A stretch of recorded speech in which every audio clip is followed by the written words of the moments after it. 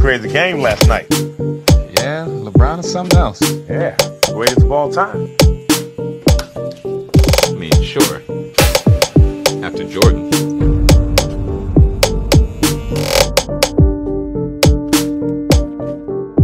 What'd you say?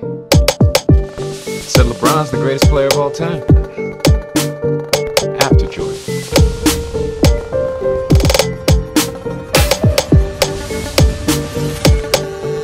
Hey, boss. Oh, I'm sorry. I thought I was supposed to be in work at 12.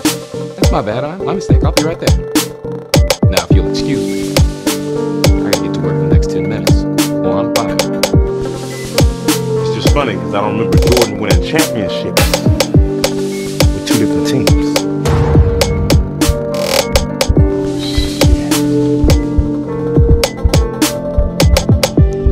Good job. He didn't need to play winning all the time with the one. Play with the Wizards. Everybody knows they don't count. I'm just saying, Jordan never made to nine straight NBA finals. Hey, man. Oh my God. The, the baby's coming right now? Are you sure? Okay, I'm on my way. Just stay calm. Nine finals. That's impressive. Considering he lost six. Baby, gotta go.